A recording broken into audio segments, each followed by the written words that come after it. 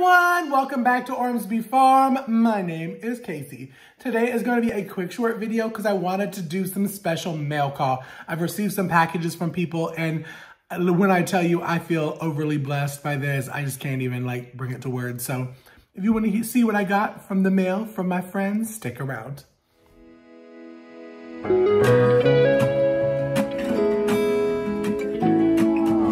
I'm coming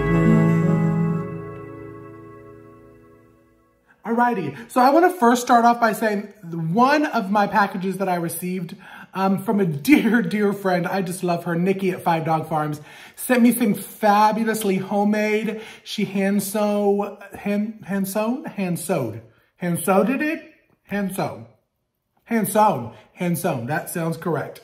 Um, some dining room napkins, a set of dining room napkins that were double-sided. They were packed up with all of my dining room stuff, so I could not find those through the boxes.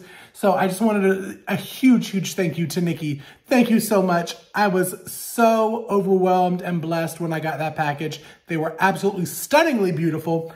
And when I get my dining room all set up, which is coming up soon, um, I will show you and I will do a little post on Instagram and tag her in it. So that's the first one that I got. The second one is from another very, very, very dear friend. My good old Judy co-host, friend, love her. Alicia over at Country Mama Musing made me a canning mat. Isn't that so pretty? Crocheted, because you know she is the crocheting queen. Pot holder and some adorable napkins, napkins, towels from my kitchen. So I first want to say thank you so much, Alicia. This, again, overly blessed. I can't even find words. I just, I feel so lucky that people like me enough to send me gifts. It warms my heart. It really does. All jokes aside, um, it's a beautiful thing. So thank you. And last but not least, Cause, and I'll wear this all the time. Let me tell you, but right now it's like 90 in Georgia. It's Rebekah Davis. Done knitted me a hat and scarf, and I'm about to put it on over my hat. But isn't it so cute? I love the colors. It's definitely my personality. It's even hot in this kitchen. Woo, girl. But this is so beautiful. She sent me that with some homemade pasta. I just was felt so blessed. Like I cannot even bring to words.